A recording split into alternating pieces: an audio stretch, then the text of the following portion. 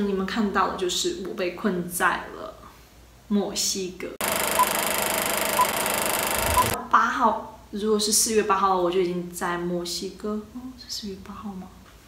我要翻一下我的护照，看一下到底是几月份来的。如果到八号的话，就是在这边两个月了。就我之前哇，真的完全没有想到我们会这个时候，真的内心真的蛮复杂的。本来因为我自己的计划是旅行两个星期，所以我就只背了我的背包，在柬埔寨我弟玩了一个星期后，我弟就回国过春节，然后我就继续老挝旅行了可能八天吧。之后呢，我就买了飞马来西亚的机票。然后同时在网上申请了马来西亚的网签，完全忘记了春节这件事情，所以我的签证进没有下来。但是我已经买了去马来西亚的机票，我又不想毁掉这个机票，然后我就上网做了很多攻略，发现我可以过境签五天。那时候，嗯，刚好这个病情爆发，然后我和我家人商量，他们也说让我先不要回去，所以我找到了去雅加达的机票，才三百多块钱吧，所以我说那就买，我就照着原先的计划。飞马来西亚，就是和朋友见面，然后爬山去印度尼西亚的前一天，印度尼西亚的政府宣布，所有持有中国护照的人是关闭关口，所以我，但他我给驻马来西亚的大使馆打电话，他们说他们没有办法给我回复。在我住的青旅遇到了一个智利男士，他刚好也是要雅加达，所以他说帮我问，他就找我一天，到了。印度尼西亚的境内之后，帮我问海关，然后他们说我没有办法过去，是已经爆发有点严重。去马来西亚的时候，订的第一间青旅就已经被拒住，我后面才临时找了我后面住的那家青旅。真的完全没有想到，我我把我的驾照落在国内了，但是我后面会需要驾照开车，所以我想想说，那要不然我先飞韩国，因为我的驾照是在韩国考的，所以我就。决定好吧，那就就只能曲线救国，你懂？就买了飞韩国的机票。然后你要知道，在马来西亚是三十度，所以很热。然后我完全没有想到，而且我那时候一直在东南亚旅行，我以为只只离开两个星期，所以我没有带什么衣服，都是夏天穿，又出了一件轻薄的羽绒，因为觉得有时候可能我要睡机场啊，被不时之需，你知道？没错，穷游人士飞了韩国，然后当时。我整个人震惊呆了。首尔当时的气温是零下十二度，差了整整四十二度，你知道吗？就我整个人冻成了狗，真的是冻成狗不夸张，是冻成狗。待了两天之后，我真的觉得不行，真的。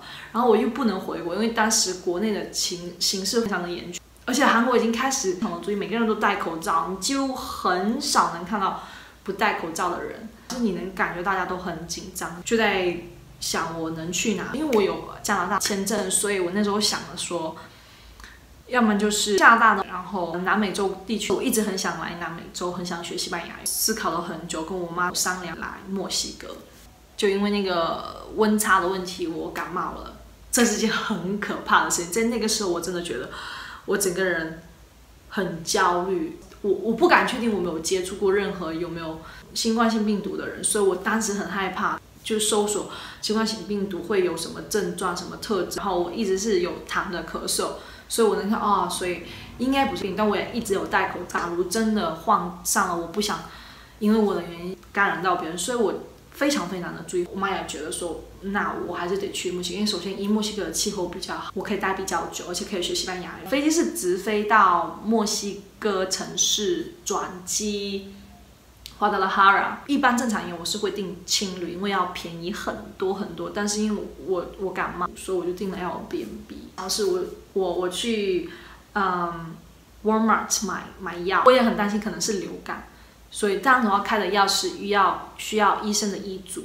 我真的是真的感染，那就是感染；要是不感染是最好，就是也让自己心安。所以我去看医生，医生说没有没有关系，我就是我就是感冒，就是普通的 cold。接着一个星期我就康复了。那我有朋友在墨西哥，所以我见了一些我的朋友们，打工换宿换到了我现在这个地方。就在这里已经有六个星期了。刚到墨西哥的时候都没有什么，但是现在，啊天哪，也真的很紧张。我目前还没有去过超市，不知道是什么情况。因为我住的地方出去不是很方便，打工换数嘛，所以也要工作，也没有怎么常出去。最开始的时候，我有去市区，都还蛮正常。直到两个星期前，我的 host 他们。很紧张，他们就一直在跟我说啊，现在情况有多严重啊，不要出去啊，出去回来一定要洗手。他们有跟我讲，现在在超市大家都有戴口罩，进门都后都会有保安给你问说你要不要免洗手液。是昨天我有去去买我的数据线，就是那个保安人都戴那种防护的那个面具。我上网搜了之后，发现这边的疫情真的现在变得好夸张啊！天我记得两个多星期前我看的时候。整个墨西哥也就才四十多例，现在已经一千多例，将近两千了。墨西哥的地图是有点像这样子，就是分两边，然后分两边，然后所以我是在这个小小带条这边，所以是隔着一个海，所以这么偏僻的地方，昨天我看了一下数据是二十七例，然后两个人死亡，呼。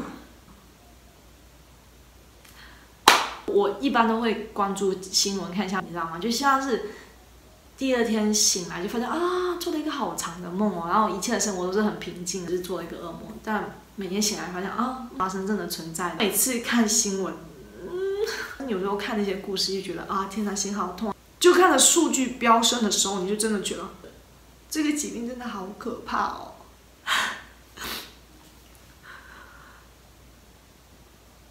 那些失去。亲人、爱人或者是朋友的人，可以多难受。而且跟朋友在聊，我们就说，可能是真的是大自然给我们一个教训，我们认识到它伤害有多大。确实，在居家隔离之后，好像产生了复苏的现象。也很希望是大自然能看到，我们已经意识到这个问题的严重性了。我现在真的觉得啊。生命真的太脆弱，可能是因为居家隔离，就让我想很多。我们一定要好好珍惜当下所拥有的一切。我现在只希望疫苗赶紧出来，然后就像大家所说的，像所有的流感啊、病毒一样，好像天气暖和起来，然后就会消失不见。希望这个月底或下个月初就能够平静，可能没有办法像到恢复到以前的样子，但是希望。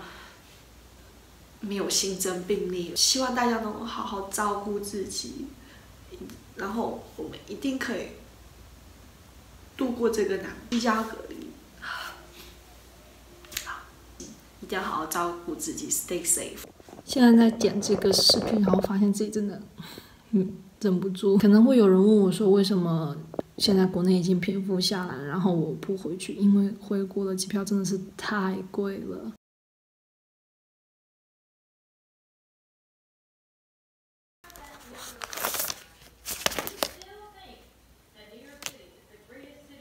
所以最好的事情就是待着原地不动，在这个疫情没结束之前，还有疫苗没有出现，希望大家也不要掉以轻心，一定要做好防护措施。现在很危险的一个问题是，无症状患者，因为你没有症状特征显示，以为你是健康的，但是其实你携带着病毒，这就会把病毒传染给其他人，然后造成其他人的患病，这件事是件很危险的事情，所以大家一定要做好防护措施。